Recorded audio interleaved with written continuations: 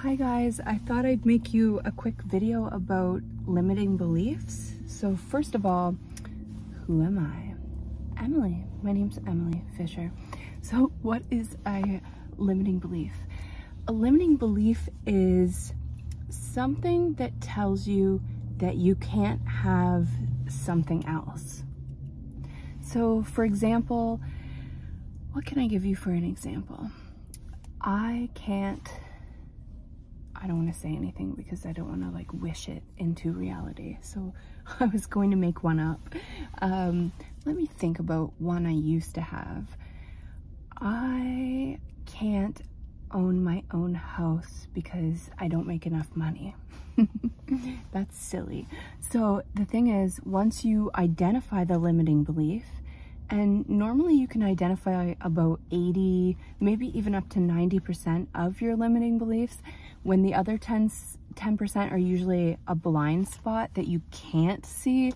So you usually need some outside person to show you that 10 to 20%. But in the meantime, the 80%, which is the most important right now, how do you identify those? Those are the reoccurring thoughts, the things that tell you that you can't have X. You can't have X, and then you state why. Why can't you have X? This was an old one that I used to have.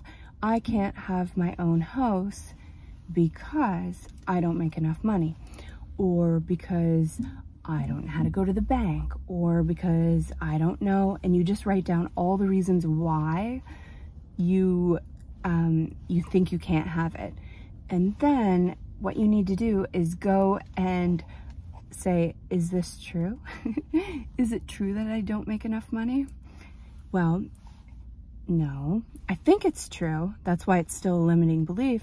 But if I went on and saw the calculator, um, that like if you go on the mortgage company and then you write in and then you're like, oh, well, it's only $900 a month to have, and you're probably paying more than that in rent. So then maybe your next one comes up. So you prove that one wrong. You can have, you do make enough money.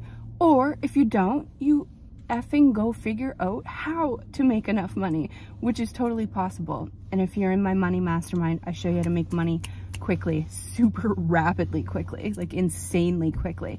So there, you eliminated that one. So what's the next one? What's the next limiting belief? My credit's not good. Okay, most of you don't even know what your credit is. And there's private lenders that will lend to people that don't have good credit or perfect credit. And then basically you have to prove that one wrong as well. You prove it wrong. So then you go figure out what is your friggin' credit. You figure it out. Okay, it's not very good. Guess guess what? You can improve your credit in three months following. Most of you don't, we're not taught how to improve our credit or what credit is or like a lot of people have this thing around they don't even know what it is so they just like sweep it under the rug and they're like i i don't know you don't know okay if you don't know you don't know right so then you go figure it out you just keep eliminating these things that say you can't have the thing that you want and you might not get it right away but as soon as you eliminate or uh, sorry as soon as you uh, identify the limiting belief and then you start figuring out the reasons why you think you can't have it and then you start squishing them. So it actually has to be put into some type of system. I'm able to do it most of the time rapidly, very quickly in my head. But if I want a bigger goal now, I actually have to write it down and there is an actual system that will get you the things that you want. So I have 25 big goals a year and I just redid my goals recently and I've already reached two of those 25 goals within less than three weeks following the system that I teach in the Money Mastermind. So definitely reach out because one of their main objecti objections is coming overcoming limiting beliefs and you can definitely go do it on your own, but when you have a proven system that works, and you also are in a group of people that keep you accountable, it's much, much easier.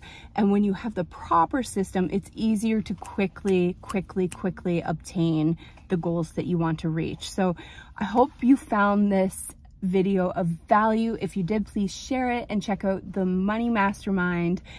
I actually need to make a sales page for the Money Mastermind so people can just click and purchase. I only actually have five spots left. It's only offered to a small, small amount of people. So the intake is right now. If you have any other questions, please reach out and get a hold of me because I can help you get the things you want and make more money. Money is not a bad thing. Money is a good thing. Money fuels you to get the things you want.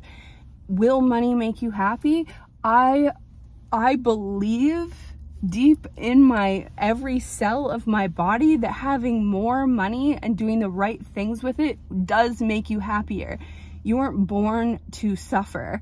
So if you have something around you suffering right now and you must have something around thinking that money is bad and it is not bad, it's good. And if you use it for good, it's even better. So take care reach out. Thanks for watching. If you feel called to, please share this video and I'll talk to you soon. Bye guys.